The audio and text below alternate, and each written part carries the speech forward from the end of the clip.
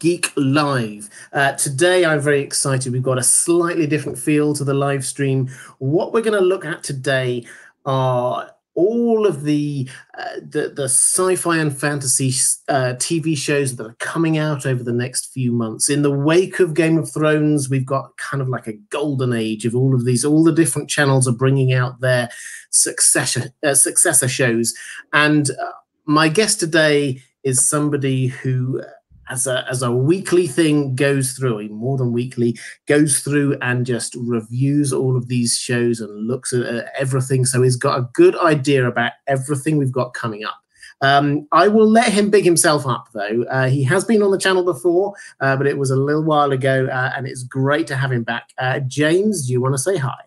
Hello, Robert. Thank you so much for having me again. And yeah, it is a, a pleasure and a privilege to be here talking about all these shows. I am fired up and ready to go. Excellent news. Uh, guys uh, in the chat, uh, great to see you there already. Um, I've, as always, I've had a few questions from my patrons, but what we're going to do today is we'll uh, go with those questions, but we're going to try and frame this around the different shows we've got coming up. We talked quite a bit last time about the uh, uh, the, the greenlit show as the successor show to Game of Thrones, uh, being House of the Dragon. But I would love just to kick us off, James. What what are your views? What do you think? What do you think we can expect from House of the Dragon? Well, I loved Fire and Blood. I know some people thought it was just basically a little bit of material that we'd seen before, but just expanded. But I've got my copy right here over my shoulder. when it came out last year, I basically sat down for two or three straight days and just gorged myself on it. And I was just having the time of my life. There's so many extraordinary characters. I'm a big fan of charismatic, unrepentant, unapologetic villains. And there's so many extraordinary characters. And just, I mean, we can talk about family dysfunction between the incest and the malformed children and the backstabbing and the betrayals. It's like every kind of story of family stuff you've ever heard of, but with black magic and dragons and just it's just extraordinary. And I can't wait for. I mean, I'm always hoping for the second part, but that also means he'll be spend less time writing Winds of Winter. So I'm always a little conflicted about what I want from George R. R. Martin, but. There's enough material there where they could do many seasons, but obviously, as written, it's like a history book. It's very decompressed and or not not decompressed. The show would have to be very decompressed. So how much will they focus on all these individual years? Because you're talking about centuries of storytelling. It's a bit of the problem we'll discuss with the Lord of the Rings show, where they're tackling the Second Age, and there's like 2,900 years of events that have been summarized. And creatively, that's obviously gives you a lot of rope to hang yourself with. But I'll I'll be all in on the House of the Dragon show when it comes out, just because I love the source material so dearly. But also, real quick, I just also wanted to kind of reemphasize what you mentioned before, how we are truly entering something resembling a golden age. I feel like both in terms of the fiction, the games, the shows, and hopefully we'll get some fantasy movies. But if you love fantasy and sci-fi, this is a hell of a time to be alive. There's a lot of cool stuff coming our way. Absolutely, and um, just I saw in the chat Mod Mary saying I want to see Mushroom in the series. Yeah, this is this is my my only ask for this show is we have Mushroom, who is if you've read the books the best character. Um, the the the, show, as I understand it, uh, from what George R. R. Martin has said, if you he did a blog post, he's got a it's called not a blog. Um, he did a blog post on this, and what he was saying was that um, if you want hints about what it's about, look at the two short stories he did in a couple of uh, collections, uh, one of which was about Daemon Targaryen, the rogue prince, uh, and one of which was about the start of the Dance of the Dragons and then move on to Fire and Blood, I think that that's a very clear indication that we're not going to get the very beginning of Fire and Blood with uh, the the Aegon's invasion and and and uh, his sisters and all the rest of it. But we're going to be focusing in Maegor the Cruel, though he's such a great character. But Daemon obviously is an extraordinary character, and yeah, I mean, he's a holy terror while running the the Gold Cloaks, and his relationship with his niece, who's obsessed with them, and the way his story draws to a close. I won't spoil anything, but it's as dramatic and climactic as anything in that book. So he's he's a fascinating character to to use as a springboard for the show. Yeah, absolutely. I, th- I think that he will be one of the main characters in this show. I'm absolutely convinced of that. Um, and uh, guys, I'm just uh, a lot of people are you're getting a lot of love in the chat. By the way, James, I should probably say uh, for those who don't know, James has got a channel, YouTube channel called Geekin with James Hancock. Uh, I highly recommend you. I will speak in the chat right now just so people can see the profile. Yeah, so yeah, Geek with James Hancock, and I have a podcast called Wrong Reels. So yeah, I'm always talking about film, television, mostly genre entertainment, some art film stuff. Like I recently reviewed Parasite and uh, The Irishman and things like that. So I, I, cover a lot of things. But on the channel, I try to keep it fantasy, sci-fi, horror, superheroes, all the fun escapist fantasy stuff. Excellent. Yeah, there's a lot of crossover in what we do here on In Deep Geek. Um, let's move on. We've, we've talked about um, this the House of the Dragon quite a bit before on, on previous live streams. So um, I'm quite keen to get us onto the other things, the kind of the the other channels, the, the the other networks, what they're trying to do to build on the success of Game of Thrones. And obviously the big one, the mega budget thing here is the Lord of the Rings franchise that Amazon have got. Now, uh, James, do you want to kick us off on this one? I'm a massive Lord of the Rings fan. I've started doing Lord Bible. of the Rings content here, yeah. uh, and and I would love to hear from you what you're hoping for and expecting from this uh, this series when it emerges. Well, as most of us probably already know, it's focusing exclusively on the Second Age, which is the period that Tolkien wrote about the least. But there is stuff to give you an idea of what to expect, which characters to expect, which major events to expect. And basically, if you look at the like the appendices of Return of the King and the latter part of the Silmarillion, just basically the tail end, you get a lot about the forging of the Rings of Power, and you get a lot about the fall of Numenor. And along the way, it's just an extraordinary narrative. But once again, we are talking about 2900 years basically from circa 500 in the second age just when sauron begins to stir again after morgoth went down at the end of the first age and that all the way up to when he gets the ring cut from his hand that's the year 3441 so that's an enormous amount of history and you've got all these incredible elven characters like Celebrimbor, Gil-galad, Galadriel, Elrond, not a lot of dwarven characters by name, but obviously a lot going on in Moria with the discovery of Mithril and the relationship with the elves and how their mutual love of craftsmanship. But for me, I think the most potential comes in the Numenorian kings and queens during their rise to wisdom and power, and then their their descent into darkness as they start to try and pursue immortality as they fall under the sway of Sauron after the very still in a very silly fashion decide to take him prisoner and take him home where he starts to influence everybody.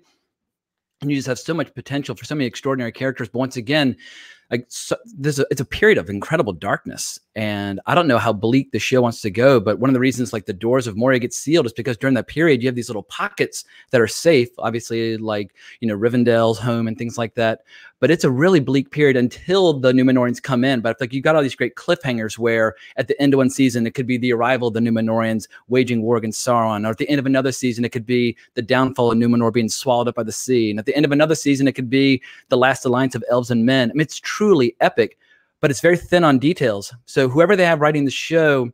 Uh, I looked up the writers earlier. I know they worked on Star Trek Beyond and they're working with Matthew Vaughn on Flash Gordon, but they're largely not untested or inexperienced, but they're they're getting their career started. They have this enormous creative opportunity in front of them. I'm just really excited to see what they cook up.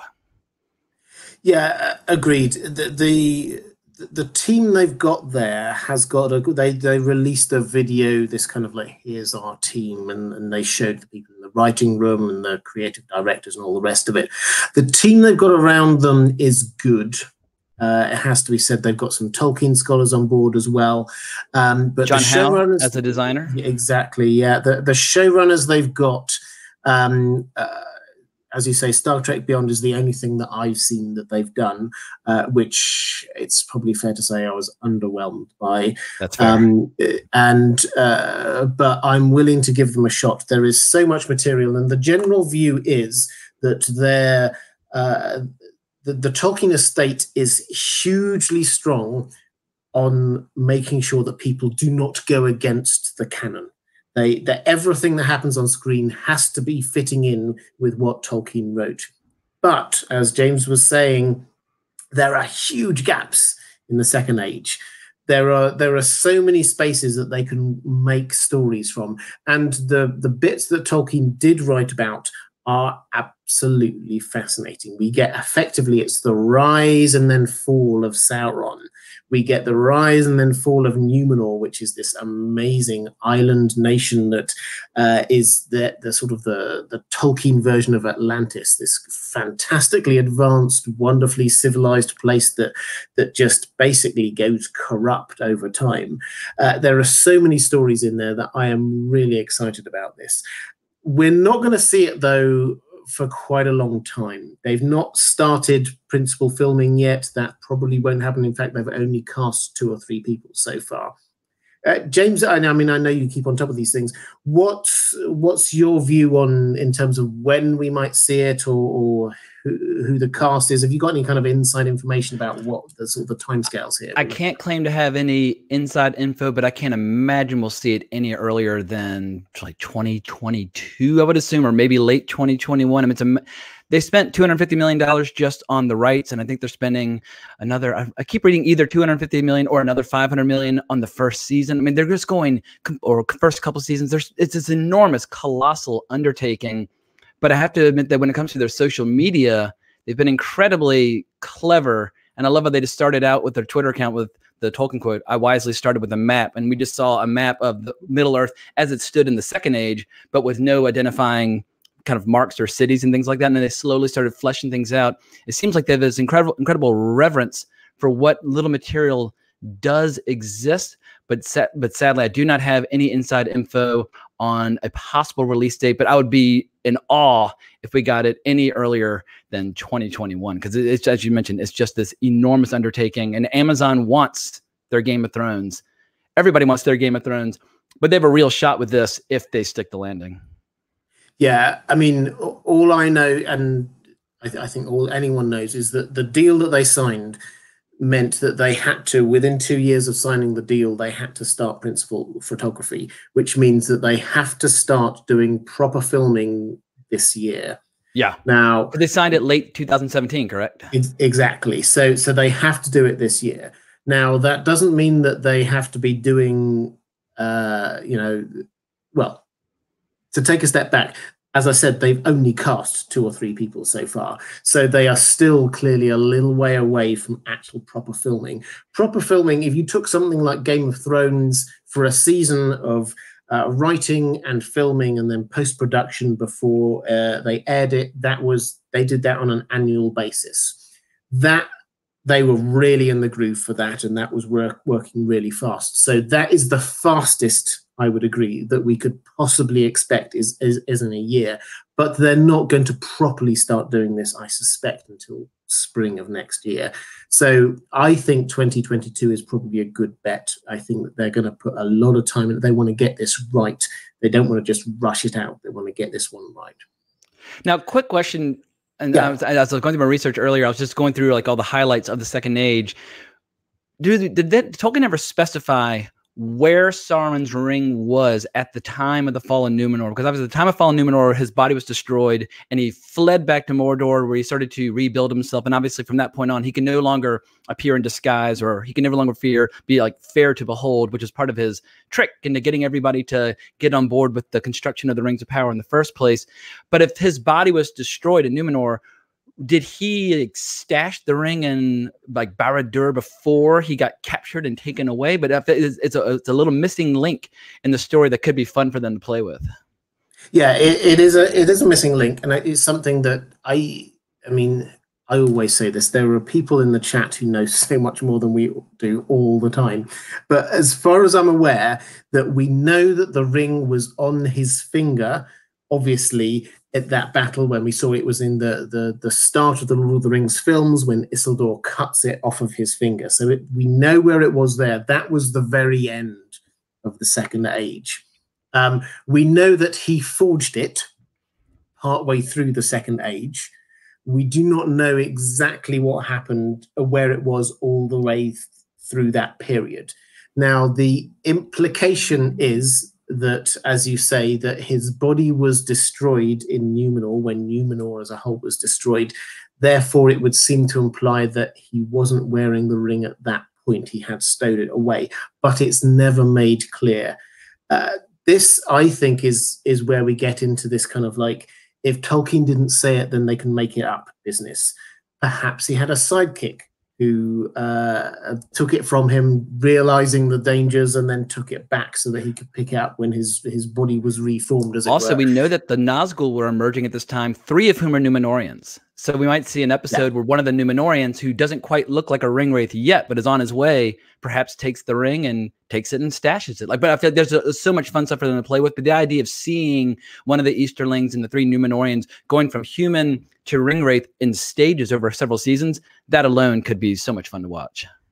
Absolutely. I, th I think this has to be where they are going to take it is something to do with a connection between the ring and the fall of Numenor and the, the, rise and fall of Sauron. That has to be where it is. I think this means that they're going to do it over long periods of time, but not over crazy long periods of time. Didn't so someone say five seasons or something like that? Like, that was the goal. I think they've signed up for five seasons. that's the kind of thing where they'll be slightly flexible on it. I'm sure, depending on how well they're doing and all the rest of it. But it's like uh, I could certainly see that they would take it up to the either the fall of Numenor or the final fall of Sauron there at the last alliance of men and elves, uh, the scene that we see in the Lord of the Rings uh, at the very beginning with their kind of the flashback thing.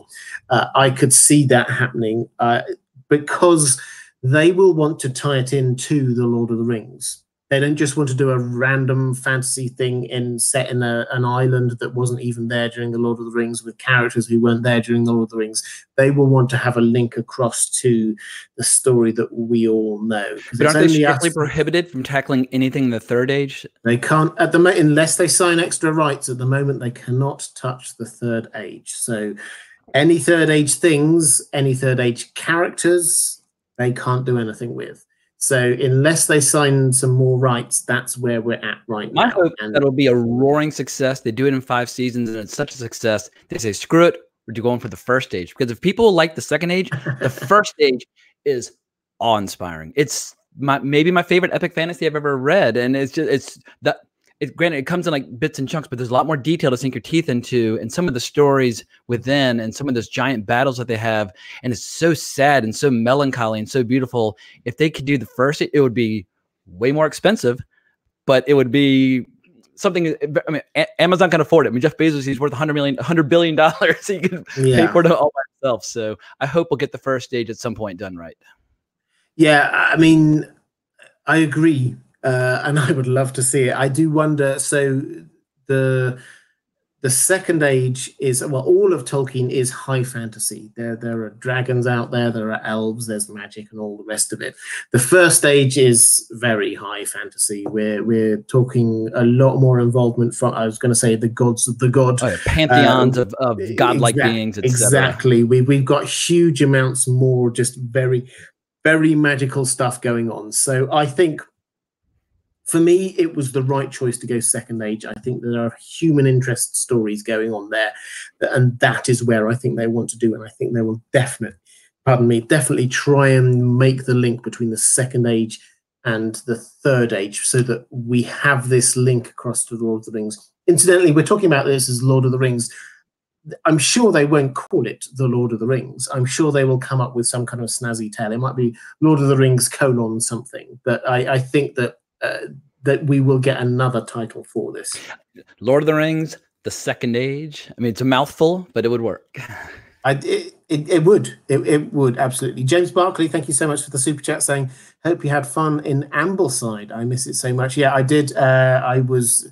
Uh, it's mostly for people who follow me on uh, Instagram. I, I took a weekend off in the Lake District in England, which is beautiful part of the world, um, and uh, I had uh, had a fantastic time. And uh, James, there, I know you're you used to live in Ambleside, which is where I uh, spent a little time wandering around, which is a lovely, lovely part of the world. Yes, I did have an amazing time, very relaxing. Thank you very much for that. Um, just on the uh, Lord of the Rings uh, on Patreon, Hypatia Ravenclaw said. Hi, Robert. I hope you have a one. You're having a wonderful evening. Thank you. Yeah, I'm really enjoying this. I was just interested in how old you were when you first read Lord of the Rings and The Hobbit, And would you recommend reading the related works in the order they were published in, or maybe chronologically? Well, just in terms of when I first read it, I, I honestly can say I do not know. It was uh, there are some things, uh, and this is true, I'm sure, for everyone, that are just such a part of you that you honestly don't know the first time that you pick them up. It's the same for me. The other thing for me is Doctor Who. I don't tend to cover that on this channel, but it's something which is just a part of me. I've always watched Doctor Who. Um, Lord of the Rings was something I've read the books. Uh, I don't know how many times. When we went on family holidays, we had uh, uh, audio adaptations playing in the car on the way there. This was Very just nice. a huge part of, of who I was. Um, so I don't know what age I was when I first read them. In terms of what reading order, uh, if you've never read them, if you've just like watched the films or something like that, I think the the best way to start the hobbit is such an accessible book. It is written as a children's book. It's very easy to read and it's fantastic and you know the story already.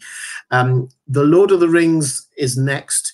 It's longer it's slightly more intense. There's lots more uh, random going off and reading a couple of pages worth of a, a song of some history uh, but it's also incredibly easy to read People sometimes say go for the Silmarillion next. The Silmarillion is amazing. I would personally recommend that you try and um, uh, pick a few of the the stories, the individual stories that they've been trying to publish uh, since then, um, uh, that uh, you can Beren Luthien, for example, which is a fantastic story, which extraordinary. Just, a, and just Sauron's in that ago. story, so yeah, uh, yeah. So and that I would t- pick a few of those individual stories before you try and dig in with the into the the Silmarillion, which is the the lore, the history, and all the rest of it. So start with The Hobbit, then Lord of the Rings, then go to some of the uh, the individual stories, and then tackle the Silmarillion would be my recommendation. But James, yeah. what, what what about I mean, When I first read the Silmarillion, I remember just keeping all the family trees like off to the side, and I was constantly I was like, all right, who who is this guy? Because you're trying to keep track of like the family of Fingon and Turgon and Fingolfin and all. You're just like, all right, who who is he talking about? Like, and yeah. so the first time through, you're really just playing this guessing game. But once you get used to who all the characters are,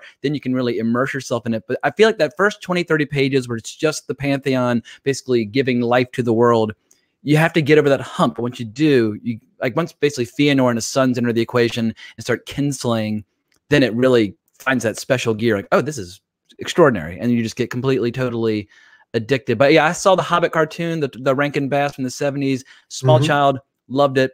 Saw it a million times before even I actually did a book report in fifth grade on The Hobbit, which I never even read at the time. I just talked about the cartoon and kind of lied my way through it.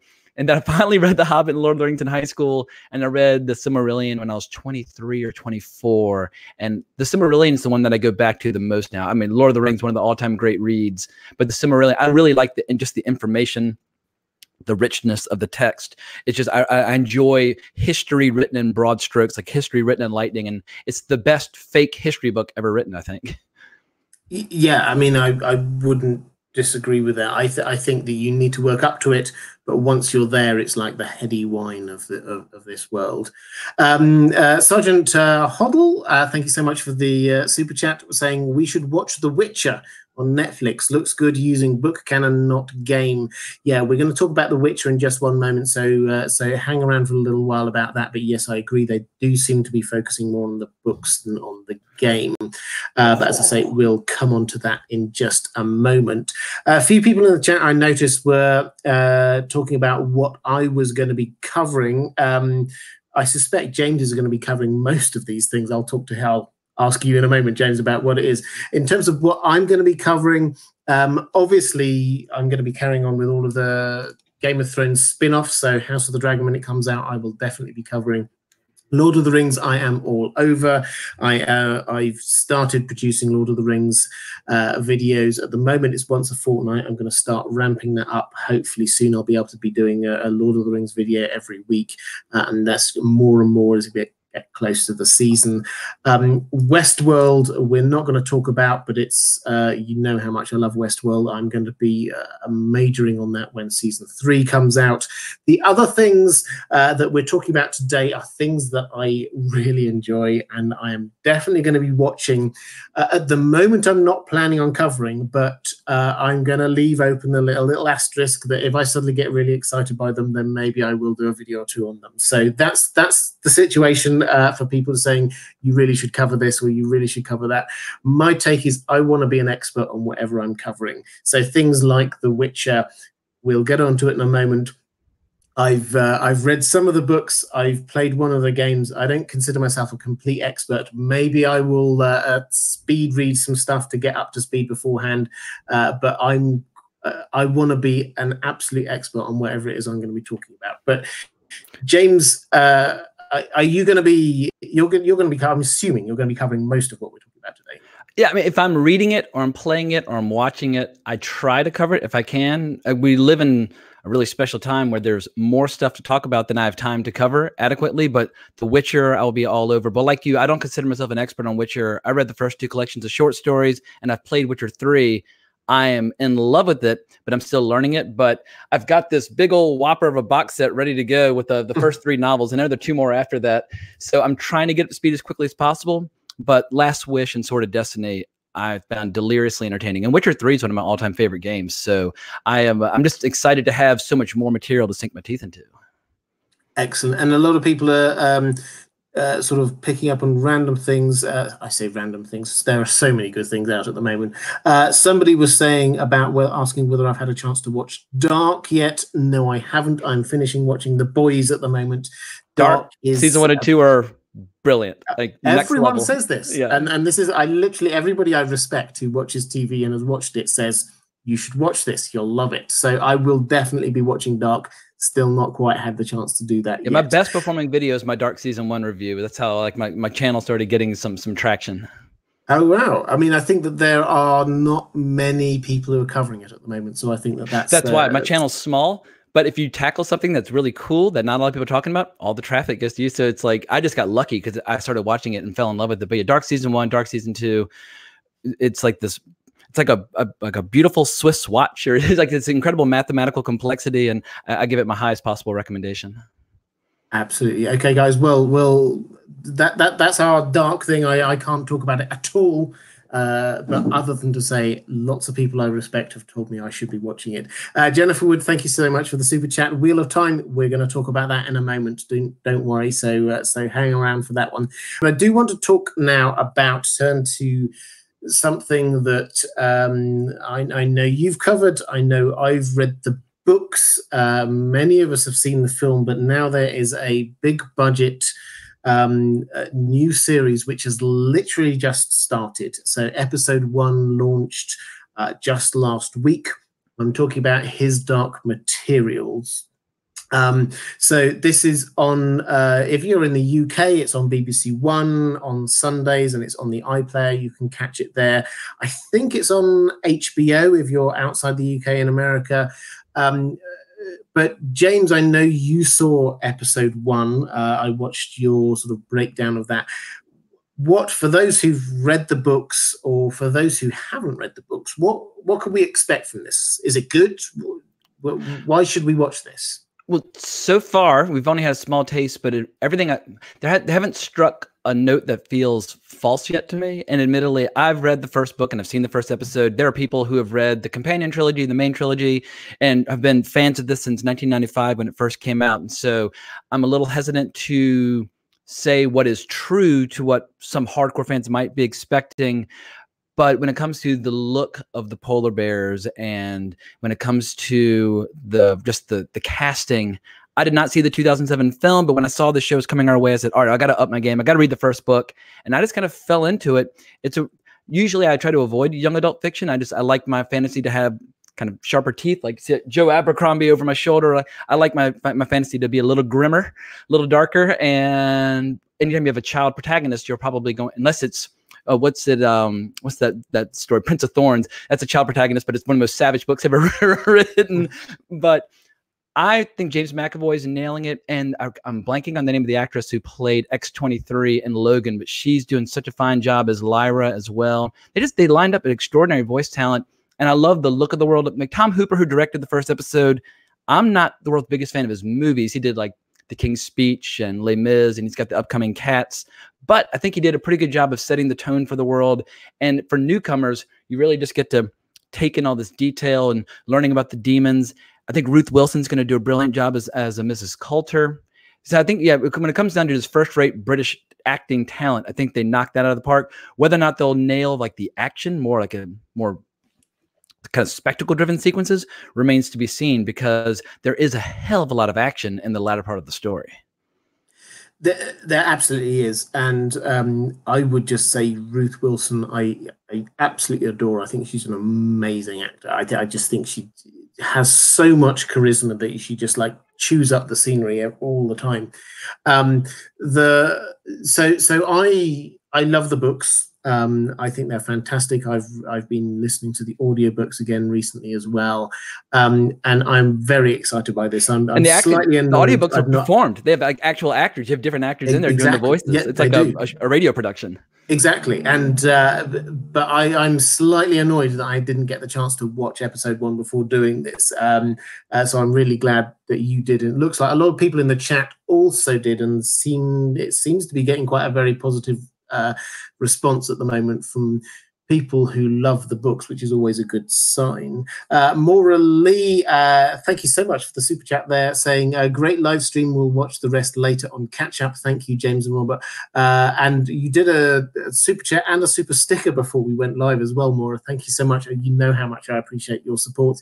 Saying just my usual love and support for all the fabulous content miss hearing the stories on the Well Told Tale and thoroughly enjoying uh, your Traveler's Guide series, which I look forward to every Friday. Love your channel very much. Maura, thank you so much. Uh, the um, slight digression, the Well Told Tale uh, I know I've not done anything on it for a, a, few weeks now. This is because I'm about to do a relaunch on the Well Told Tale. Uh, it's going to be exactly the same idea. This is just going to be me reading what I consider to be the finest uh, science fiction and fantasy stories ever written. It is just an audiobook channel, but I'm relaunching it as a podcast as well. Um, hopefully, it's going to be slightly slicker. Hopefully, it's going to be uh, a little bit better audio quality. We're going to get a little bit more. Um, uh, sort of uh, slightly better graphic design and all the rest of it. But basically, if you wait till later this month, there will be a complete relaunch of that. So uh, thank you so much for the kind words. It will be returning. Um, Maury, also you asked over on Patreon about uh, his Dark Materials, or you're saying uh, that you saw the first episode um, and hoping that the TV show will be better than the movie. Yes, absolutely, I agree that the movie was a missed opportunity. Um, it has to be said. Um, uh, I'm familiar with the books. Um, what do you think? Just um, I assume you saw the movie. Did you see the movie, James? I did not, because I remember at the time people were just bashing it, saying that it didn't have faith in the qualities that make the book great in the first place, and uh, that always bewilders me when you see a show or a, sh- a show or a movie that doesn't understand what makes something innately appealing in the first place, and then they try to embellish it or smooth it over. They almost try to make it more accessible. And so, yeah, when it came out in 2007, I was curious until I saw just this massive pushback. I was like, all right, well, maybe I ought to just take a crack at the books. I, I like to read. I'm not completely illiterate. And so I'm, I'm, glad, I'm glad I waited and just got to experience the novel firsthand because it was an absolutely delightful read. Yeah. So the, the the film, from my perspective, I know a lot of people absolutely hated on it. The film, from my perspective, was an okay film, but uh, the, the problem was that the books were so good and they just missed so much of the the subtlety and the nuance um, uh, that and it was very kind of bright and hollywoody and the books have got a level of grittiness about them um, that looks from the trailers as if it will be transferred into this TV show. There, I mean, it's young adult, but it's a scary world. I mean, it's a world Absolutely. dominated by an authoritarian theocracy where children are being abducted. I mean, it's a scary place. And that I think a lot of people will, will be surprised by if they're expecting like a Harry Potter story. It's much more alarming when you read it, and it's not heavy-handed in its messaging, but there's definitely I don't want agenda is the wrong word, but the writer has certain preoccupations, but he explores them in a really interesting fashion. But then if you don't necessarily like the messaging, you still have giant polar bears in armor fighting each other, like all this incredible stuff. So yeah, I strongly, strongly recommend. There's a reason why it's so beloved 25 years later. And James McAvoy, I think, is the biggest fan of all. Apparently, he he read these books and never dreamed he would actually get to play Lord Asriel, but here he is. Yeah, and I have to admit, I'd never thought of him as Lord Asriel. That's a, that's a very different casting to what I imagine. So I'm looking forward to because he's a good actor, uh, and I'm sure he'll do a great job. But it's like when oh whoa, I wasn't expecting that.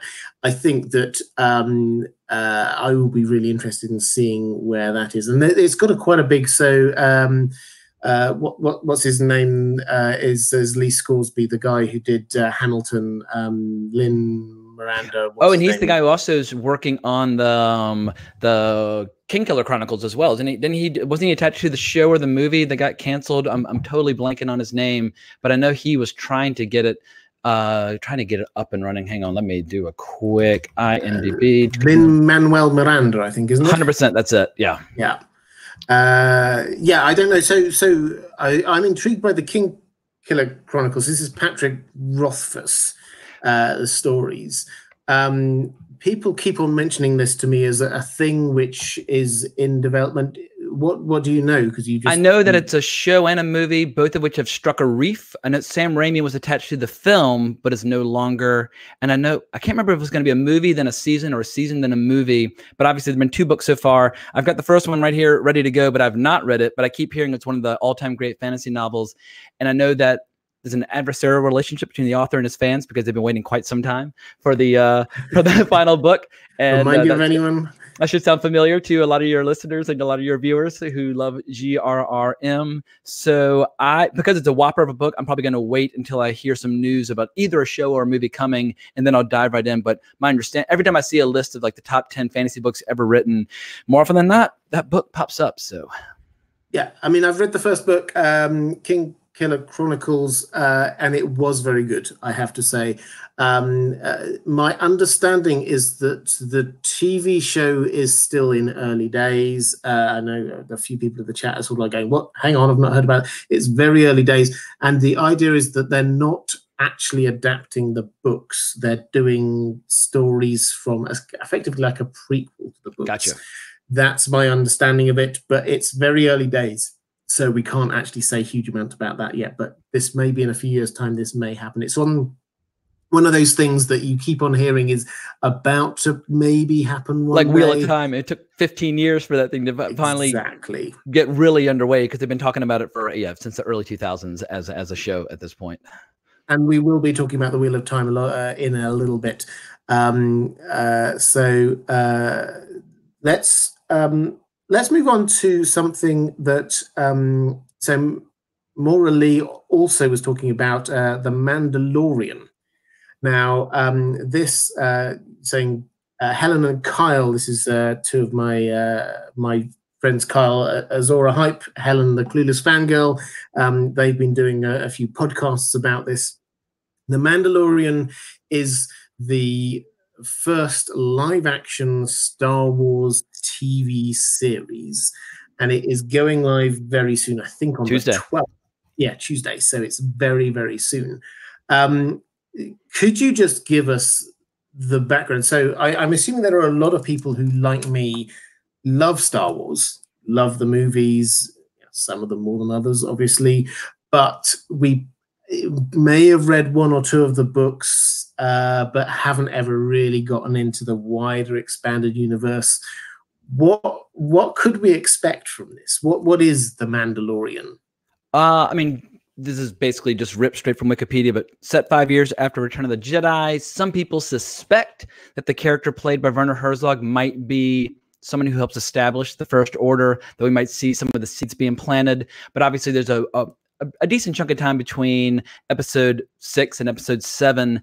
And so they've got a lot of room to play with, but it's eight episodes, unreal cast. I think Pedro Pascal is phenomenal. Obviously, people will remember him from Game of Thrones, but he was really good in Kingsman Golden Circle. I think he's a really talented actor and funny as hell. But he's basically playing a mix between like a samurai and Clint Eastwood running around collecting bounties. And the first trailer I thought was pretty good. The second trailer gave me goosebumps. I just couldn't believe how cool it was. As soon as I saw him freeze one of his bounties in carbonite. I was like, all right, I'm so in that I can't even put it into words.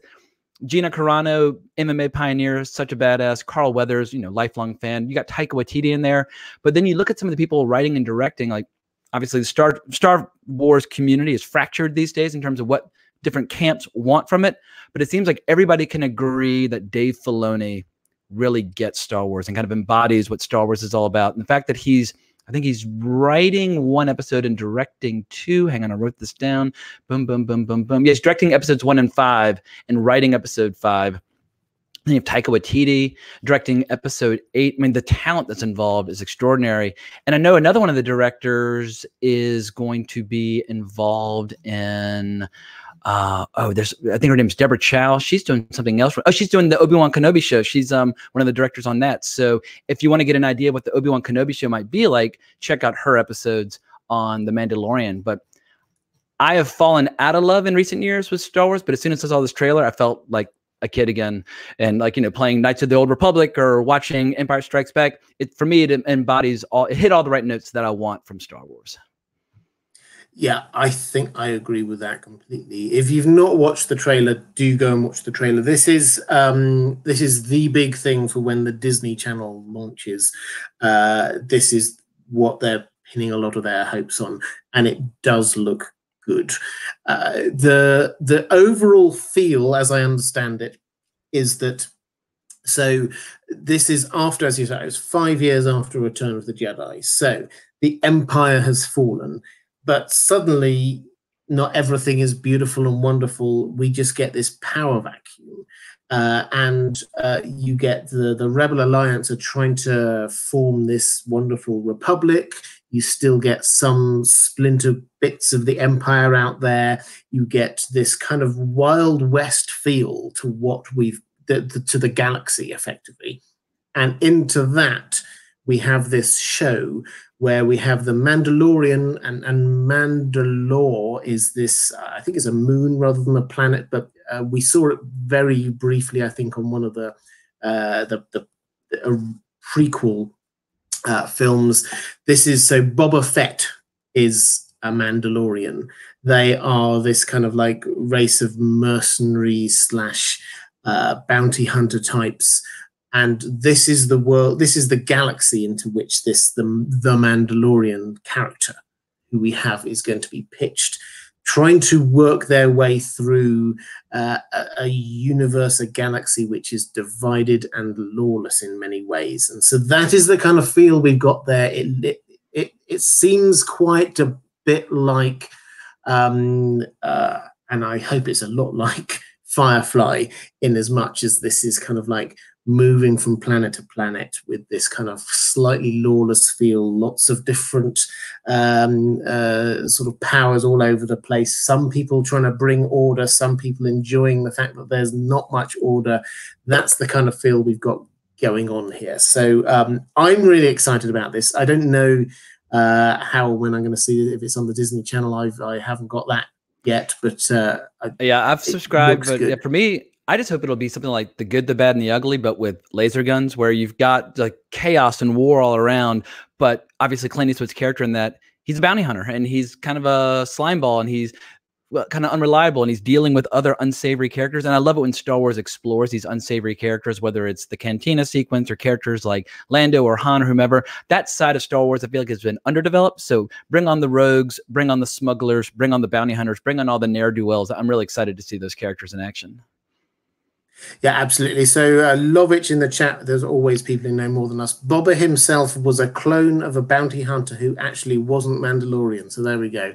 Uh, that that's where it. But the uh, if you look at the the main the Pedro Pascal uh, um, kind of armor, it has got that same kind of Boba Fett feel to it. That's so that's the the kind of the ethos that they're going to, going for is this uh, is this kind of like bounty hunter mercenary kind of feel in a a lawless galaxy. Um, uh, we're about uh, 45 minutes in, so nearly coming up to halfway. What I always do halfway through my uh, my live streams is just to let people know stuff that's happening on my channel, um, stuff that they might be able to look forward to. So if you've not seen it already, I did a video couple of days ago uh, a Song of Ice and Fire video on who wrote the Pink Letter, which is one of the what I think one of the big unanswered questions that we're waiting for an answer from in the Winds of Winter. It's uh, it's a letter that in the books it changed everything for Jon Snow because he was about to head off to Hardhome, uh, but actually he suddenly changed his mind and said, "You know what? I'm going to leave the Night's Watch. I'm going to head down. I'm going to take on Ramsay Bolton uh, at Winterfell, and that was what got him killed. So this was a hugely important letter. That letter was the thing which changed the course of what happened at Castle Black.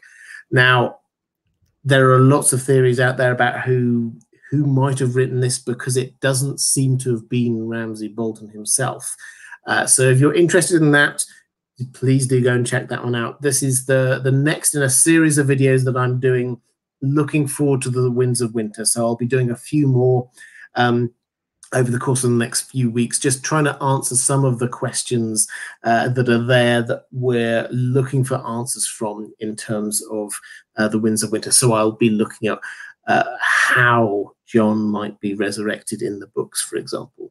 Um, I'm also working on the next thing in my Robert's Rebellion series. If you're enjoying that, um, uh, that will be coming soon. And as I say, please keep an eye out for um, the relaunch of the Well Told Tale, uh, which will be coming later this month. The other thing I always say, because I always mean it, is patrons, thank you. I cannot do what I do without your support. I really appreciate it. Thank you so much uh, $10 patrons, I will be coming to you uh, at some point in the next few days asking for um, your thoughts on what videos I should be covering in a couple of my different series. So that's one of the perks of being a $10 patron is you get, get a chance to influence what videos I make in the future. Uh, so please do keep an eye out for that. If you're interested in being a patron, either just because you want to support the channel or because you want to get access to some exclusive benefits, I do just for my patrons. There's a link down in the description. Uh, but James, also, I'd be interested to know what is it that you've got coming up over the next few weeks that you think people might be interested in over on your channel? I'm cranking out a lot of my podcast, Wrong Reel, which is basically long form conversations about film history on a variety of topics, like whether it's film composers, great writers, or you know great series, but a lot of filmography episodes and that sort of thing. And we crank out anywhere from like four to seven episodes a month.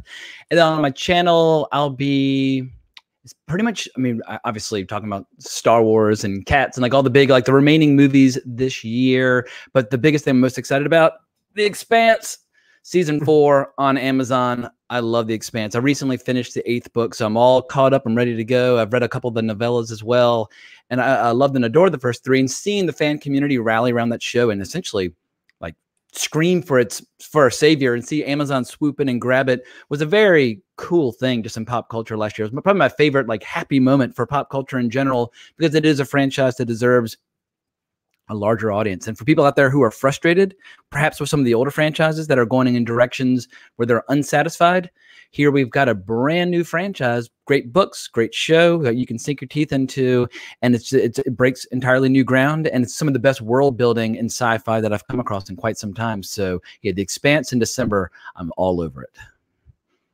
Excellent. I have to say, The Expanse is with the possible exception of Dark, the show that people have been trying to encourage me most to be making videos about. Um, I uh, I have tried. I will honestly say I've tried a couple of times. I watched the first episode of The Expanse. Um, uh, maybe I was a little bit tired when I watched it. Um, it didn't immediately grab me, but again, people I know and respect have recommended it tell me it get it gets it gets really good. And it's based i know on some uh, very highly rated books as well. So uh, so yeah. perhaps i will try again um, they were uh, former assistants of grrm he helped them get their start and but they write more quickly than he does. The ninth and final book is coming out next year. So they are because they want to move on to the next trilogy but they're also involved in the show as executive producers. So their fingerprints and their kind of their stamp of approval is on it but amazon's got enough material to play around with for many years to come um, yeah, I, I, I think so. I, I think, and I think that it's it maybe it's something that I just binge one say one day over a week or so um, and i just work my way through it all um or just grab uh, the first book it's a really fun read yeah just grab that first book and it's also for sci-fi kind of terrifying at times so Yeah. Okay. Well, uh, another person I, I, I respect telling me to uh, to to get into it. So uh, maybe I should. Um, the, the, pink letter. I got a few people in the chat talking about my pink letter video. Um, uh, people saying, somebody I can't remember who it was saying, uh, why didn't Bowen Marsh write it? Is there any reason why he didn't? Um, it's uh, yeah, I, I, agree that, that the, anyone at the wall would have known how Jon might react to the letter. That's absolutely true. But I think we need to understand motivations on this one. It's uh, as well as all the clues that it was written. I, I, always do this. I spoil my own videos. You should watch the video, but you should uh, um, uh, the the the letter very clearly has a number of clues within it that I think it was Mance Rayder who wrote it.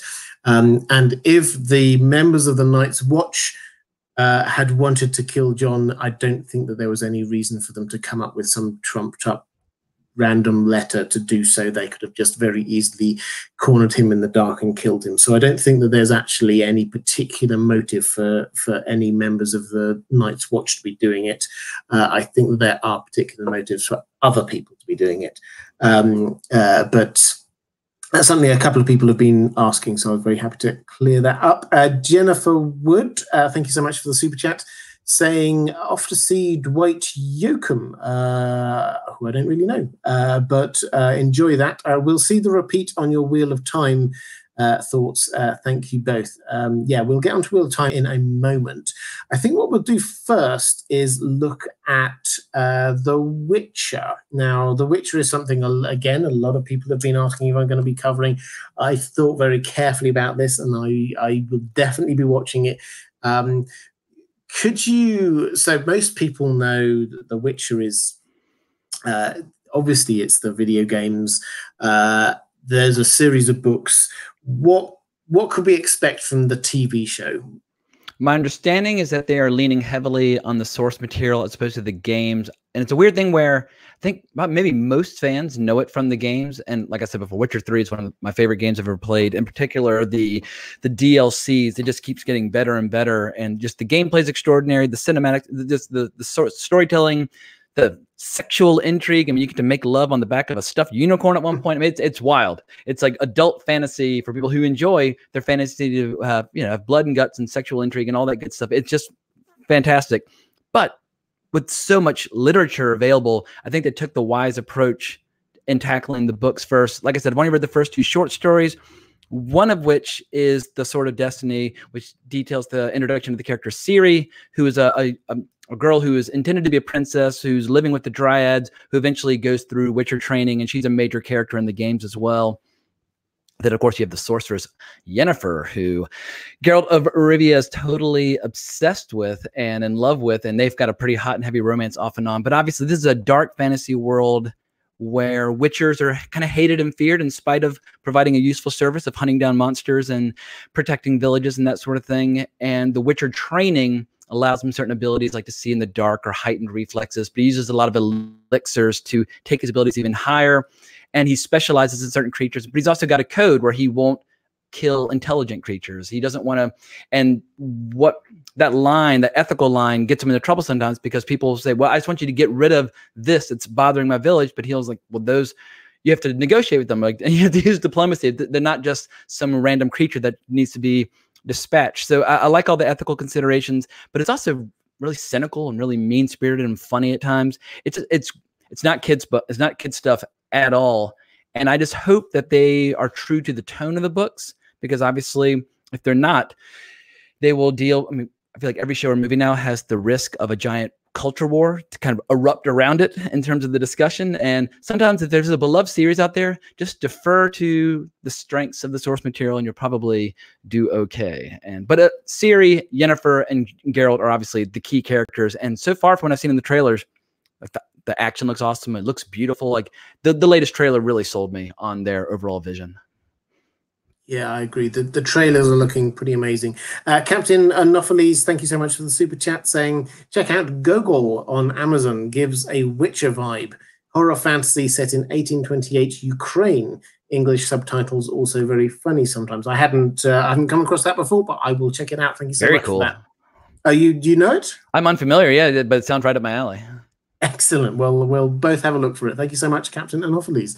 Um, in terms of the the Witcher, yeah. So uh, I've read the first three books. I played Witcher three, so I I know some things about this world. Um, not going to claim to be an expert, but where we're at with it is that. Um, or where I'm at with it is that I, when I went into it, and I suspect this is probably the same for most people with the books, uh, to start with, you're thinking that this is going to be a bit Conan-ish. We get this character who's like this incredible fighter. He doesn't say much. Um, he doesn't really have much by way of emotion. He's there just killing monsters, and that seems to be the story. But the more you get into it, actually, it is quite multi layered because, as you say, first of all, you discover that he's actually got this code about who he will and will not kill. Um, he doesn't want to be killing humans, for example. Um, and yet we find increasingly these monsters that he sent out to destroy are not just these evil baddie monsters. Uh, then you get you get this extra level that you start to realize that actually he's not really the main character in this. The main character really is Ciri who's this um, sort of effectively this she's the child of prophecy and then suddenly you start looking uh, at the witcher uh, at geralt as being yes he's the main point of view character but he's actually there as a supporting character in a much greater story um, and then you start looking at the world itself, and there are there are layers there as well about how people are viewed and about uh, prejudice uh, and and about minorities and about um, uh, when you get one culture that is hugely more powerful than another culture, what happens there? And you start getting these extra layers just sort of working their way in. So what I'm hoping is that the show doesn't just go down this kind of like hack and slash isn't doesn't this look really cool on all the people really sexy kind of approach. I want that because I like it, but I want it to have this extra layer of critique of the world that all good fantasy and science fiction does that actually takes uh, takes a look at our own world through this created world that that you have there. I mean, was that something you took with these kind of extra layers from from these books? Well one of the stories that really caught me off guard with how incredible it was was uh, the first story in the second book uh, the bounds of reason which is a story where they're hunting a gold dragon which most people don't even think exists and you have all these different factions that are part of this wandering band that are there for different reasons. So they're having this pretty intense fierce debate amongst themselves as this dragon does finally show up and they start taking it on one at a time, uh, basically challenging it to duels in honorable fashion. And I just couldn't believe how entertaining it was. But Geralt doesn't really participate in the action so much, but he definitely is like moving the levers of kind of like people's points of view. And I, I just, it really surprised me. And I just like how he takes things like dragons and sorcerers, etc., and completely deconstructs them and reinvents them because fantasy can get very derivative and he made it all feel so fresh and so new and he reinvigorated with all these new perspectives. So he makes fantasy feel incredibly modern and i think probably a lot of authors have been influenced as a result but yeah, he's got other stories like something more where ciri is that's the last story in the second book which i loved Sword of Destiny is a great story from the second book. So I just really enjoyed it. But I hope we'll see some Dandelion in the show. So far, it appears as if he's maybe not going to be employed. But uh, what I saw that was uh, very encouraging, one of the producers, Lauren Schmidt Hissrich, said, or she's the showrunner, originally they were just going to do a movie. And she said, well, there's so much material out there. It would be a huge disservice to the material. Why not build it a giant world? So it seems as if she really loves and appreciates what Andrzej Sapkowski created. And so I, I'm really putting all my hopes and prayers in her that she's going to really deliver something special. Yeah, and and I think that uh, so Dandelion, for those who don't know, is is, is fantastic character. He's this he's this bard. He's uh, Geralt's best friend, effectively. He sort of hangs around and and bigs him up all the time, and, and has a huge ego, but is very amusing and and, and has a lot of charisma about him. Um, my understanding is he is going to be in the show. Um, he might not have the name Dandelion. That's uh, uh, uh, again, as I understand it, a slight mistranslation from the original Polish. Oh, gotcha. Um, okay. so uh, there is going to be a character, but I think that it was Buttercup, perhaps. Again, people in the chat, I suspect, will be able to give me the exact right name. But he, the character is going to be in there, but perhaps not with the name that we're expecting. Um, Kathy Stark uh, over on Patreon was saying, uh, since the trailers for the new Witcher series look so good, I've started listening to the audiobooks. So good. Um, yeah, I agree. So the the the the the uh, the video games are excellent. So as I say, I've played uh, Witcher Three, which is a fantastic video game. Um, but I don't think it really does justice to the world. The world is so much bigger. The world and and the character of Geralt is a lot more nuanced than you might originally think because the, the the problem that they have and i'll be very interested to see how they deal with this and i love your take in a moment james is that so Geralt, he has to, to become the Witcher, he has to take all of these kind of like drugs and poisons and effectively has to be kind of reborn as a, as a different and uh, superhuman. Um, and this takes away huge amounts of his emotion. So if you've seen on the, the video games, then he he seems quite an emotionless kind of character, um, a little bit monosyllabic. Um, uh, definitely quite monotone. Um, that doesn't really work very well on a TV show when that's your main character, and obviously the only huge star that they've got here is Henry Cavill. Um, how, how, do you see that working with Geralt as being because he is he's the Mandalorian's got a similar issue because I know they're going for that man with no name, like you know people who don't speak often, but when they do, they say speak with purpose. Yeah. You have to obviously have an incredibly expressive actor who communicates a lot with their eyes. But Henry Cavill, he was so good in the latest Mission Impossible movie, and I feel like he's perhaps been underutilized. I feel like he's got dimensions that have not necessarily been fully explored by some of the movies he's appeared in. I know he's taking it very seriously, read the stories, loves the game. He got he said in the best shape of his life. It sounds like from what I've seen in the trailer, he's almost imitating the character from the game.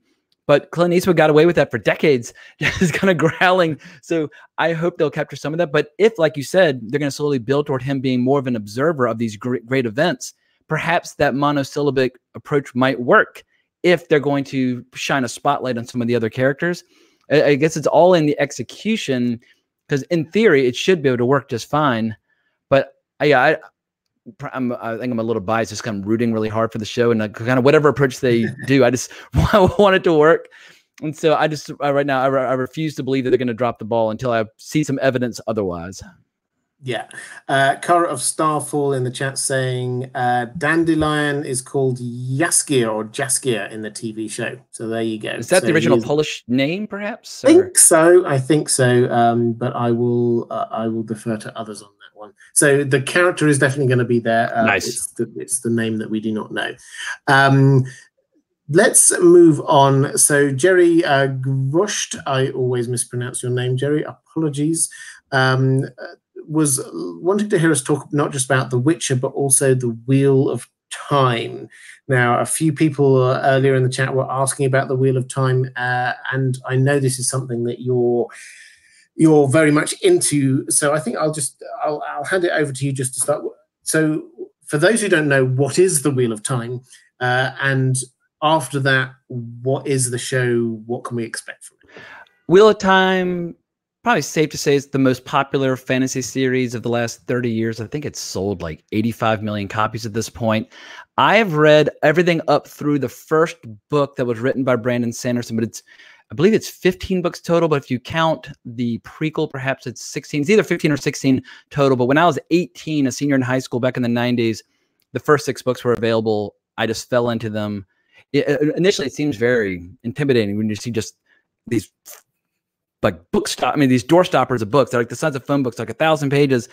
But as soon as you start reading The Eye of the World, it's very pleasurable, very relaxing, very enjoyable reading, and you find yourself not being intimidated by the length. You're like, I want more, I want more, and so th- those first six uh, came along at a very important time in my just development, and I just was completely, totally consumed. And then I took a long break till like 2006 where I read books seven through Knife of Dreams, which I believe Knife of Dreams is either 10 or 11. I think it's 11 then just a couple months ago, I finally read The Gathering Storm. So I've got books. I've got the final two books by Brandon Sanderson, but I guess for a long time I was so hesitant to read the final books because Robert Jordan died while writing it, and Brandon Sanderson, who's the world's biggest fan and a massive fantasy writer in his own right, really took it seriously and took what existing materials out there and shaped and crafted an ending. So I'm really looking forward to seeing what he's all about. But the world, it's a world basically where magic has been tainted, and if men use it, they go insane and there's this prophecy about a dragon returning but the dragon is a man who might bring about the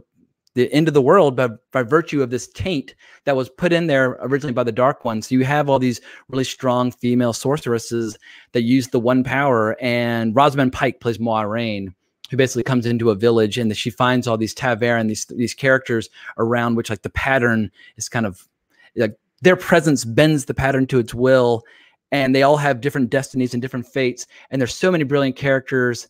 I mean, Mat Cauthon, he's he's incredible. Perrin's incredible. I mean, it, there's dozens of extraordinary speaking roles. The action's incredible. The villain, so many great villains, so many great. It's a delightful series. It's probably the most ambitious fantasy series ever written. So Amazon's got their work cut out for them. But the books are so long like Daniel Greene, he's a YouTube channel I really admire, and you should definitely have Daniel Greene on if you haven't already. But he he's read the whole series many times over, and he's the first to admit that you could strip away some characters and some some plots. It doesn't have to be as long for a show, but at a minimum, it's going to be somewhere between like seven and ten seasons if they want to even hope to do justice to all the text that's there.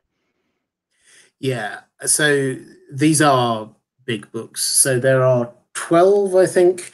Um, where I come from, I can remember I read the first three. They didn't really work for me, I have to say. Um, uh, they uh, they're good, um, and in many ways they're they're really easy to read. Um, but uh, I think at the time uh, that I think we got up to like book nine or eight or nine or something like that, and he was slowing down. And I thought, I'll just wait till he finishes them all and then read them from beginning to end. And as you say, it was the classic that he got to nearly the end of the penultimate book, and then he died and never finished it. And thankfully, Brandon Sanderson came in and finished a lot of them. Now, uh, I am really intrigued by this because it's got a good cast from what I've seen. Rosamund Roose Pike, Bolton's in there. Yeah, exactly. Got, yeah, he's playing the, Rand's father. Yeah, the guy who they they just announced the casting of uh, he played the guy who played Roose Bolton on Game of Thrones. So they've got a good cast coming along. Again, it's going to have a big budget from Amazon, so it looks like it may well uh, it may well be good. Um, I I'm I'm on the fence on this one. I'm going to wait and see what it looks like in the trailers. I think that they're still just about to start filming. I think they've they've written it now they're just doing the final bits of casting, and then I think they're starting to film at the moment. So we're not going to see it for another year or so anyway. Um, but it's um, as a story. I for me, and I, I, know you're more of a fan of this than me, so I'd love to hear your pushback against this. Some elements felt a little derivative from Tolkien. A lot of the books of the fantasy stories around that time were very much in the shadow of Tolkien, having Trollocs where there were trolls and the Ogrins or whatever when there were ogres. Um, but other elements felt as if it was an attempt to do something different, like this idea so that the women were in control of the power and in control of the magic in a way that the magic system is incredibly complex. Exactly, and, and in the way that in Tolkien is very much a male centric thing. Uh, there's very much a shift over to a more female focus. Um, so it, it, was quite a mixed bag for me, and I would love to see what they can do with it. If they can take the bits that worked well, then I think that that might make a really amazing series. And as and as you say, cut out a lot of the extra bits. I may well have imagined this, but somebody once told me that there was a um, uh, book nine or ten. I think it was called something like Midnight at the Crossroads. There were so many different uh, threads of story. Twilight, I believe was that one. Yeah, the the the one book, massive eight hundred page book, barely covered a whole day uh, of actual story time moving forward because there were so many different things going there on. Definitely chapters where it's like, oh, this whole chapter is just about somebody walking across a camp and thinking about their day, and it's like, you're about to die. Like finish. Robert Jordan, he did write his ending, and he wrote a little bit of his beginning, but instead of doing one final book, us and Brandon Sanderson stretched it out into three. But at least he did commit to paper his idea of it. So we do have the official ending, and I don't. I always worry that George R. R. Martin has not thought ahead enough to actually put at least like an outline down because I just I worry that he's going to move on to writer heaven and we'll never know how the story really ends because he's so busy with other shows and other books and so on and so forth. And I, I, it's horribly cruel to say somebody don't pull a Robert Jordan. Uh, it's it's very it's very insulting to say this, but he's not a young man. He's not a healthy man. So uh, I, I just I just worry we're we're seeing another Robert Jordan scenario in the making. But if they can just get yeah. the show to the end of Lord of Chaos and do it right. The final battle at the end of Lord of Chaos is one of the most thrilling experiences I've ever read on in any series. It was so satisfying, so violent. It just it was so grand and so extraordinary. It all just comes together so perfectly. You know, kneel or you will be knelt. I mean, the line still gives me goosebumps. If they can just get there, I'll be I'll be happy. They can forget about seven through eleven, where it gets a little more decompressed. yeah. So so I I think of all the ones we've been talking about, this is the one that could be great, uh, but it does have to have very good writing. I think. I think they need to have people who adapt it well. Um, let's move on, though. We've got uh, a, a, lot of people suggesting other things. I've tried to focus this one in on uh, new shows, shows that haven't started yet, rather than things that are already out there. Um, uh, but I, I, did get uh, what I thought was a really good sort of conceptual question uh, from over on Patreon from Christian Isidoro saying, Hi, Robert and James. I'm hoping the two of you can discuss the, re- the recent homogenization of some television and film. Television in recent years has become more cinematic with epic dramas like Game of Thrones and Westworld, and some of the largest blockbusters in cinema are tending towards a sequential format, making franchises like the Avengers, uh, bringing incredible success. What do you think about this? So um, I, I, think this is a fantastic point. I'd not really thought about this before, but I'd love to hear your thoughts, James. Do you think that we are moving towards films and uh, and TV shows being quite similar?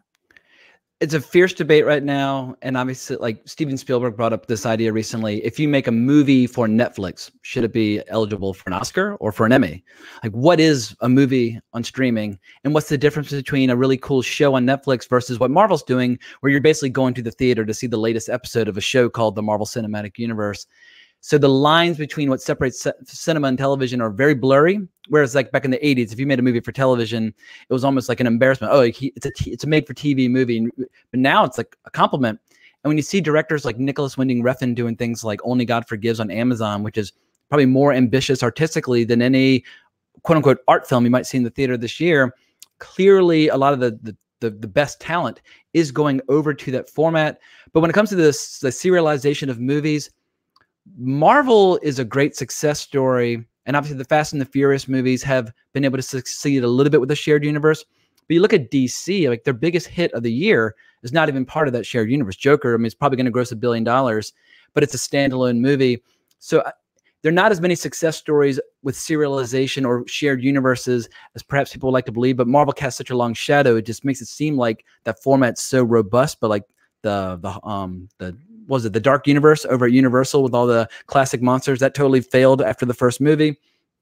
It's easier said than done, but I'm all for it. I feel like it's all this moving image, it's sight and sound, and whatever format you want small screen, big screen, serialization, or standalone it's all about great stories artfully told. But I think we'll increasingly see a situation where whether it's in the cinema or in the or at home, there's really no distinction. Distinction. Like I went to the New York Film Festival, and you see Netflix movies like The Irishman playing on the big screen, but it is a Netflix movie. So is it a movie? Is it a show? Like I don't know, or is it something? Do we need to come up with a new term to properly ca categorize it? But in the end, what matters is great storytelling, visual storytelling, and whether it's TV or film. I feel like people get lost in the categorizations too much, and I, I Spielberg should probably maybe let that fight die. Like honestly, who cares whether something's eligible eligible for an Emmy or the Academy Awards? Their cultural relevance seems to be less and less with with each passing year. Yeah, I think I agree completely, and I think that the the, the blurring of the lines between TV and cinema is is going to happen increasingly, and and it's the noticeable thing is where the where the stars come from. You look at uh, people like uh, the, the, the people who were in Game of Thrones. They became stars through the TV show, and then they're going off and doing films, but they're never going to do a thing as big as Game of Thrones again, probably. So it's that there, there's the biggest budget TV now is bigger budget than uh, most films. I mean, Lord of the Rings is like as big a budget as like Endgame, and it's crazy. Exactly. And that was so they paid quarter of a billion, as I understand it, for the rights, quarter of a billion budget for the the uh, the show itself. So we're talking about half a billion dollars just to be making that, which is just a ridiculous amount of money. So uh, yes, there will be more blurring, and I think that there will also be, as you say, there will be like a what does it matter where people see this stuff? HBO very clearly are wanting people to watch things on their channel because of all the reasons. That's why they weren't putting things out into the cinema. But increasingly, we're getting a lot of TV shows that are being shown on the on the big screen as well. So yeah, I think it's a, a it's an interesting kind of um, blurring of the lines between the two, and the only other thing I would add, which is very clear blurring from the lines, is that TV shows now are often cinematic length, particularly end of season events like Westworld at the end of and a lot of Game of Thrones the last season. They're they're an hour and a half long. These are these are actually feature films, uh, yeah, feature films. But that affects the way that they make the the show because um, one of the big uh, I'm, I'm, I'll always go off and digress here. One of the big and I think good changes on TV over the last decade has been moving away from this idea of it has to be. Uh, if you've got a comedy show, it needs to be done within half an hour. Uh, uh if it's a if it's a, a, drama, then it has to be done in 45 minutes. That kind of thing we're moving away from, and it's actually now the art form takes as long as it needs to take. And the that, form follows its function. Exactly that I think is a huge benefit because sitcoms you knew what the pattern was. You could watch a Friends episode and you knew exactly what the the, the pattern was going to be there, and it's the exact same pattern with The Big Bang Theory or any other comedy show you could mention. It has the setup, it has the, the, the main action, then it has the final bit, and you know where you are in it at any given time.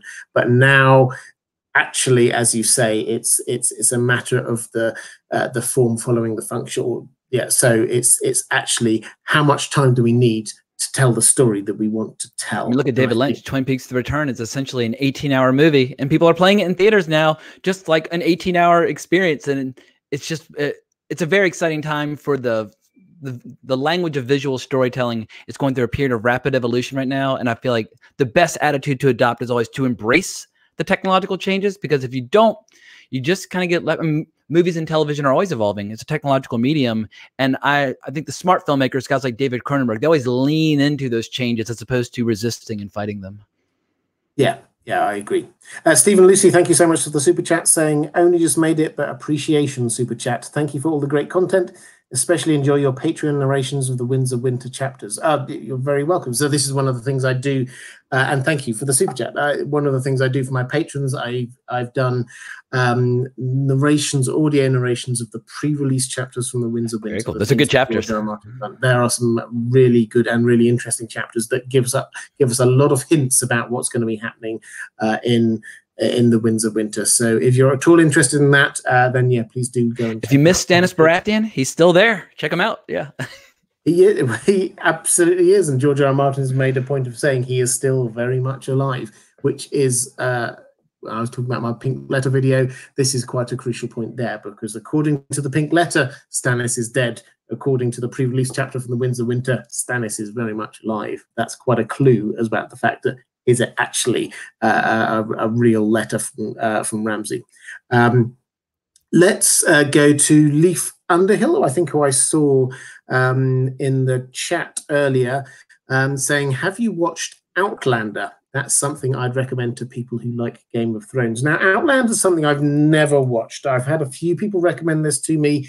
Um, it's as I understand it, this is like a time travel thing um, where you get uh, the main character starts off in 1940s Scotland and then gets cast back to I think it was the Jacobite Re- rebellion from like the 18th century. It gets good reviews, but have you watched it? I've What's your six take? seasons deep, and at this point, it's yeah. a little overwhelming to try to get caught up. Uh, I think if someone's looking for a show to scratch their Game of Thrones itch, so I can't speak to the Outlander, but I saw the first uh, season of The Last Kingdom recently, and granted, that's based in history, not sword and sorcery. But The Last Kingdom is very exciting, and I'm going to get totally caught up on that before I think season five or four is on its way. But I really thoroughly enjoyed that, and I feel like if you're looking for, if you're jonesing for more Game of Thrones and you want moving image, Last Kingdom might be one of your one of your alternatives for scratching the itch, at least in the short term. Yeah, uh, the Last Kingdom is something that George R. R. Martin often uh, references when he's talking about things that other things that people might want to watch or yeah. read. In fact, it's based on ten books by Bernard Cornwell. So yeah, if you like like the, the big giant deep dive into history, Bernard Cornwell is like George R. R. Martin, but just tackling actual historical events uh, in, in your home country.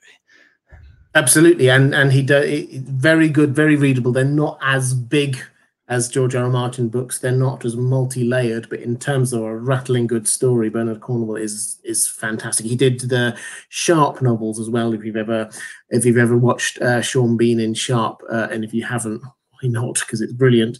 Um, but he does uh, does a whole load of these the historical novels. Um, and uh, the Last Kingdom is uh, I think it's on Netflix um, at the moment, uh, and I think there's another series uh, on the way. Um, and it's very good. It's it's sort of like a um, and I'm sure they wouldn't ever describe it as this, but it's sort of like a sequel to Vikings, if that makes sense, um, but from the other side. So you get Vikings very much from the side of the Vikings, uh, and we see them coming over and, and, and starting to attack what is northeast England when you get to the last kingdom this is cutting to quite a few years later when the vikings have been taking over all of england and the last kingdom is the last of these english kingdoms and how is it going to survive against the might of the vikings coming? So so that's the world we're looking at and it is really good. I would highly recommend it. Um, Jane, hi Jane, uh, from uh, Patreon says any seasoned serial connoisseur and castle geek should surely be watching The Man in the High Castle. Engrossing from scene one, twists and turns, completely absorbing, 60s, time travel, America, Nazis, Japan. Throw in a few antiques and brilliant cinematography, an absolute must see. Final season starts next week. Now, this is something I I watched the the first episode, or perhaps the pilot episode of this a long time ago, uh, and I have read the book. Um, fantastic story. This is a Philip K. Dick story, and I'm a huge Philip K. Dick uh, fan. Uh, have you ever gotten to the Man in the High Castle, James? Uh, it, to my eternal shame and embarrassment, my only exposure to Philip K. Dick was reading "Do Androids Dream of Electric Sheep" when I was planning a big giant Blade Runner episode of my podcast, Wrong Reel. So he's, I know he's one of the giants of the 20th century, and I just haven't done my homework. And so you, you, you found my Achilles heel in the world of sci-fi. Ah, well, with uh, Philip K. Dick, I would highly recommend you just buy a collection of his short stories and just dive in. It's, um, I mean, the thing most people know about him is that that, that you you cannot make a bad film from his stories. Uh, you you get Do Androids Dream of Electric Sheep becomes Blade Runner. We can remember it for you. Wholesale became Total Recall. He's got Minority Report. There are so many great films that are adapted from his stories. Um, uh, and I he was very much an ideas writer, an ideas science fiction writer. You get some who are very character driven. Uh, you get some who are very concept driven. He was he was all about the idea, and then he would push that idea all the way through. But the Man in the High Castle effectively is an alternate history, um, but it's an alternate history where the people starting to realize that they are in an alternate history. That's Interesting. the kind of the twist. Gotcha. Uh, and so, the, so they see, uh, and this is the kind of, and I don't know where the, the show has gone with this because this is just a book, um, but it's the idea that you get uh, you get an America which was uh, half invaded by the Nazis, half invaded by the Japanese after the Second World War. Um, and uh, then people, uh, the, there's this newsreel from the, our reality when that didn't happen. And people are going, well, hang on, where, where, where do we go with this? We're in, we're in an alternate reality. How do we get to that reality? That's an insanely cool better. concept. and, and this is this is why you with Philip K. Dick, all of his concepts just blow your mind every single time. Um, uh, and so I love it. I loved the book. It I think it was the only one of his to win a Hugo Award, actually, which is criminal. Um, uh, but it's it's a brilliant concept and brilliant story. Um, and uh, from what I've seen of the show, yes, it's very good. And as I say, if the final season is out next week, then uh, it might be a good time to to get into it. Um, we've got one more question or one more comment from uh, Patreon. So now is the time. Uh, we'll probably keep going for another 10, 15 minutes or so, but now is the time. If you've got any more questions or comments, drop them into the um, uh, the chat now. Um, what uh, what I'll, I'll, just sort of throw a sort of a, an open question to you, James. So we, I, I, came up with this list of of shows and sort of dropped it on you. Is there anything that we've not been covering here that you really think that we should be keeping an eye out for? It's never been announced as a possible show in development. and I don't know if it ever will be, but the books of R. Scott Bakker are criminally unloved, I feel like, in the fantasy community. And so far, there have been seven. And he's kind of taking a little hiatus to like build a house. He's really into, you know, building things with his hands. But it's if I were to kind of handpick a writer to write fantasy the way I want to see it, he writes the kind of fantasy that's my, my dream fantasy in terms of deeply disturbing, deeply provocative, highly philosophical, insane world building, incredible historical backdrop, and for whatever reason, his books just do not sell. But mm. for fan, for fan, I mean, it seems like obviously your your your your audience loves and adores fantasy. So I would I take every opportunity I can just to throw his name out there because obviously Joe Abercrombie is incredibly good, and there's you know Steven Erikson is incredibly good. There's so many great fantasy writers right now who are enjoying. We are we, we live in a blessed era when it comes to that specific genre, and I just want R. Scott Bakker to enjoy some of the spillover from the popularity of the genre at this point. Yeah, I think uh, as is the way. So, so to take it where we started with this, I think was was to say after Game of Thrones, which has shown that uh, there can be a big budget fantasy blockbuster TV show, which is the biggest show anywhere. All of the channels, all of the networks are now trying to do their thing. They're trying to do something which kind of builds off of that in some way that's the kind of the mix that I've been going on with. And they are always trying to go for what seems to work best for them, which may not actually be the best books. One thing I've whenever this kind of subject comes up, I'm always saying, why is nobody adapting Robin Hobb uh, with with the the, the Farseer uh, trilogy and uh, the Assassin's Apprentice and all the rest of it? That is so good, um, and it perfect for TV. Um, uh, but there are so many great um, book series out there that just have not been adapted. I think to take this back to where we were a moment ago, I think one of the big battles we're going to have coming up is the extent to which something is made into a film or it's being made into a TV show. Because uh, the the film is slightly more limited now. Yes, you could have a two, two and a half hour film, but that it, it, might work for a novel. But if you've got a series of novels, are you going to want to sell the rights to that for a film or are you going to hold out for a TV show now? The film always used to be the golden goose that everybody was wanting, but the TV show now, maybe that's even better bet if you're a writer. How do you feel about Dune being broken up into two films instead of a show? Because I feel like Dune obviously has been done as a show in the past, a show that people liked but Denis Villeneuve is doing these two movies of Dune, and my fear is that the, if the first one flops, we might see the second one kind of butchered or kind of hamstrung. But I've got a lot of anxiety about Dune, but I'm also very excited as well. Well, I mean, I don't have any particularly original views on Dune in, in as much as I think my view is the same as everyone else's. It is a masterpiece that has never been done right. Uh, and that is a tragedy. And that was the same for Lord of the Rings until uh, until we got Peter Jackson on board.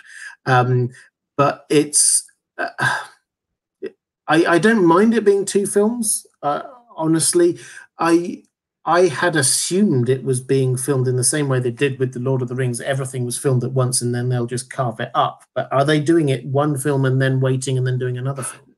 That I would have to look up to confirm. My my assumption was that they were shooting it all at once because it's just more efficient that way, and you just mm. you save a, a pile of money in terms of locations, actors, etc.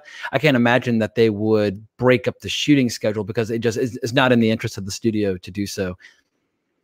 But yeah. Denis Villeneuve, I like his movies, but he's never made a runaway successful movie like a big crowd pleasing Infinity War extravaganza.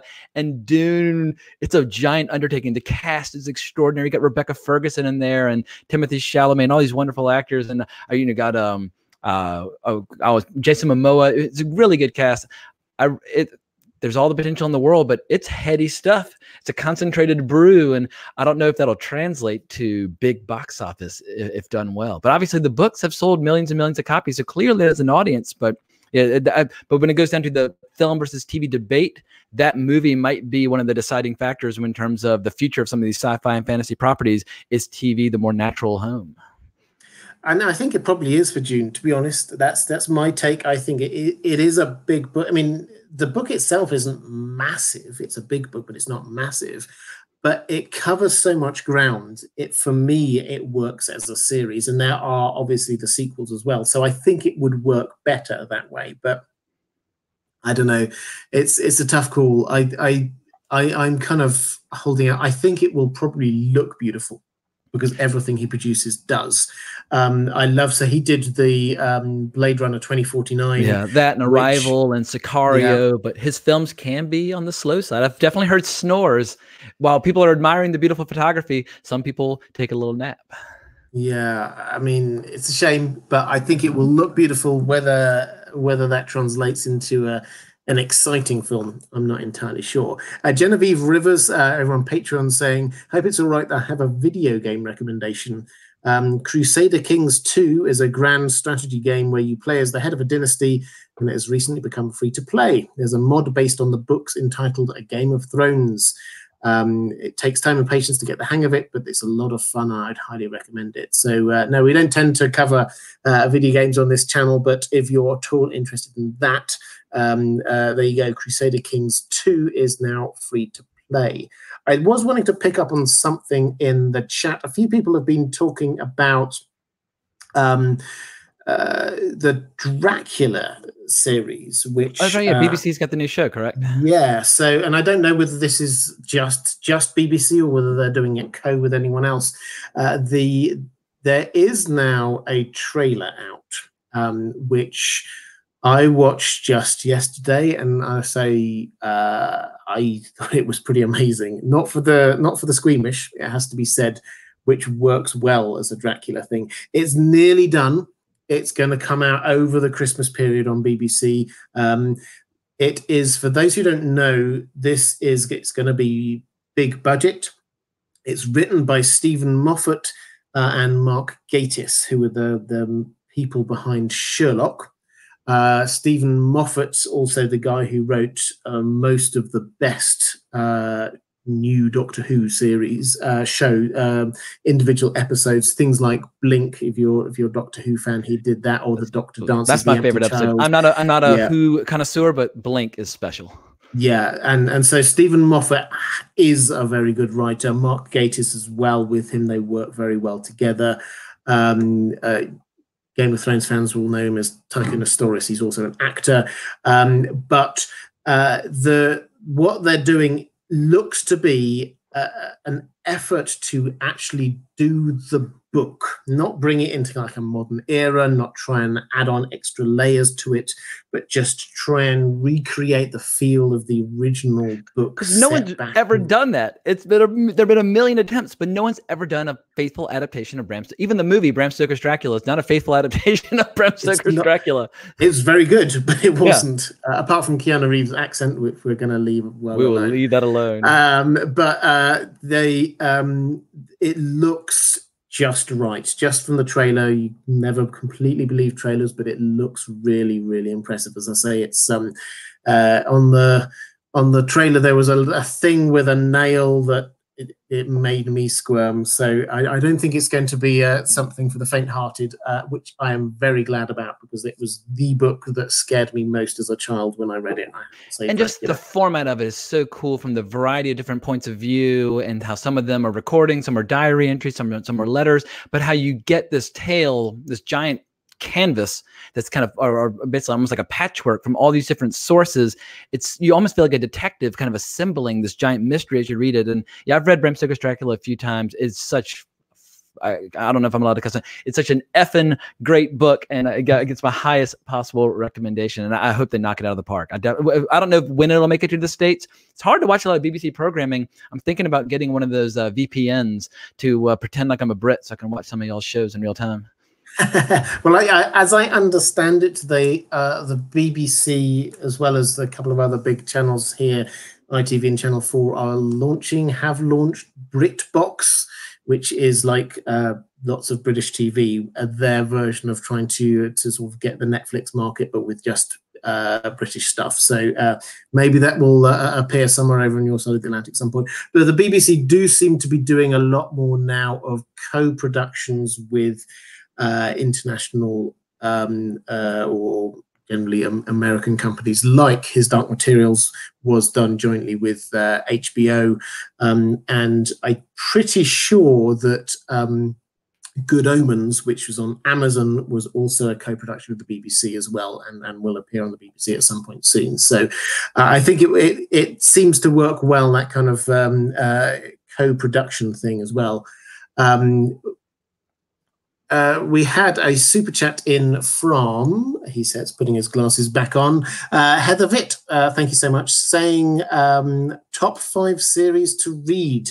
Love you, Robert. Thank you so much. That's very kind. Um, I think this is uh, probably a good uh, one to sort of wrap up with. Um, so we've got, uh, I'll, I'll, throw this to you. You don't have to think of five. but in terms of series of books to read, where what would be your your favorites?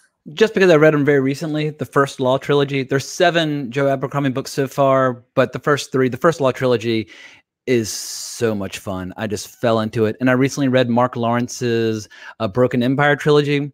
That's l- not for the faint of heart. The first book's the main character is a villain, so you, you go through a lot of dark territory. But if you like dark fantasy, uh, Prince of Thorns, King of Thorns, and Empire Emperor of Thorns, that's extraordinary stuff. Uh, as mentioned, the R. Scott Bakker Prince of Nothing trilogy gets a strong recommendation.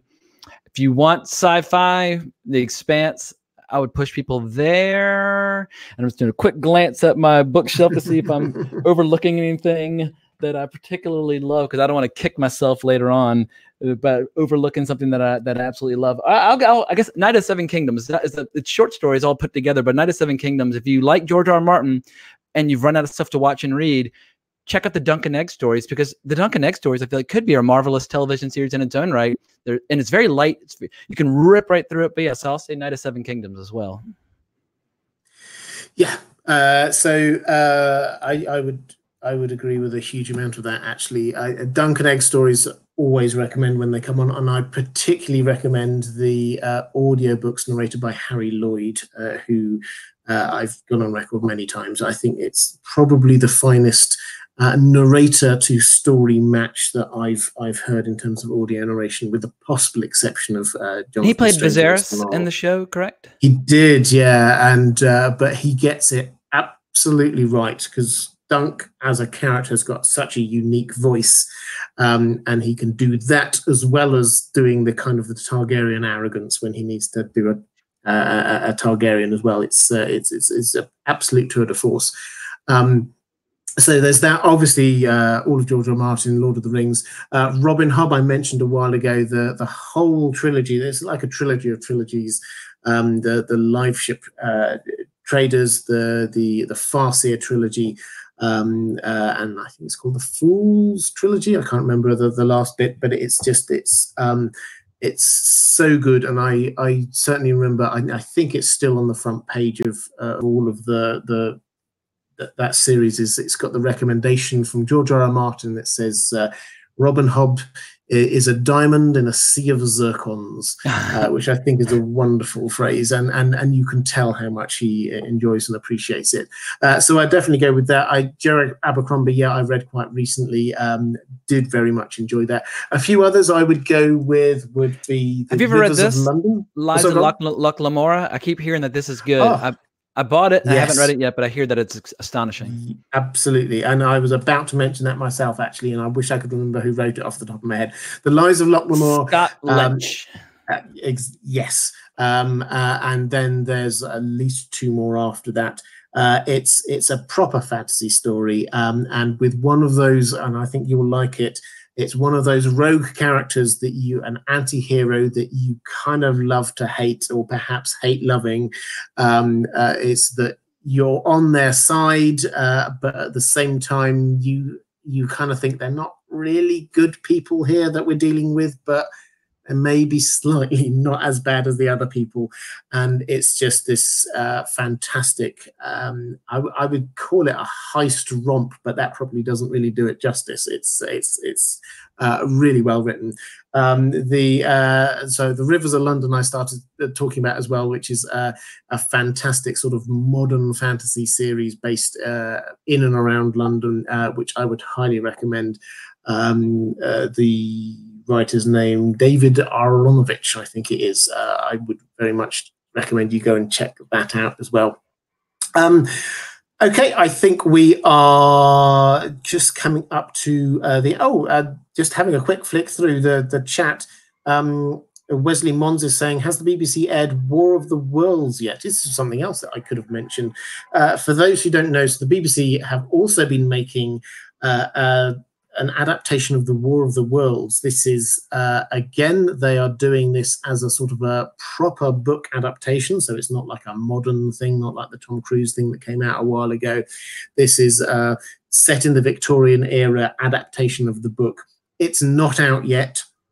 Uh, I, I, there is a trailer which seems to imply that it will be out soon, uh, and I am very much looking forward to it as well. So yeah, that's another thing which is um, uh, coming up soon.